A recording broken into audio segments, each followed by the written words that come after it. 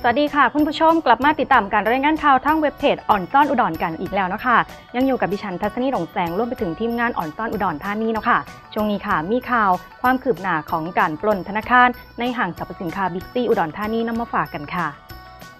พันตำรวจเอกโกวิทเจริญวัฒนศักดิ์ผู้กำกับการสพเมืองอุดรธานีกล่าวถึงความคืบหน้าที่คนร้ายควงมีดเข้าไปชิงทรัพย์ธนาคารกรุงเทพสาขาห่างบิ๊กซีอุดรธานีว่าเฮาได้สอบพยานจำนวนหาปาก มีเจ้าหน้าที่ประจำธนาคาร2รายและที่เกิดเหตุอีก 3 ราย พร้อมกับเบิงกล่องวงจรปิดทุกโตในห่างบิ๊กซีสาขาอุดรธานีอย่างละเอียดแล้ว สรุปว่าได้เบาะแสบางส่วน โดยคนร้ายและผู้ต้องสงสัยอาจมีส่วนเกี่ยวข้องกัน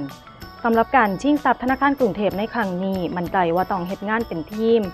เพราะคนร้ายเข้ามาในห่างแล้วก็จะทาสัญญาณอยู่ 10 นาทีก่อนที่จะเข้าไปปฏิบัติการชิงทรัพย์ในธนาคารดังกล่าว ซึ่งเมื่อวานนี้ก็ได้มีการรวมกันสนธิกำลังเหตุงานรวมกัน ระหว่างตำรวจภาค4ตำรวจผู้ท่อนจังหวัด และตำรวจเมืองอุดร ซึ่งก็ได้ความชัดเจนขึ้นมาหลาย โดยมีกลุ่มเป้าหมายในการติดตาม ทั้งรถจักรยานยนต์และผู้ต้องสงสัย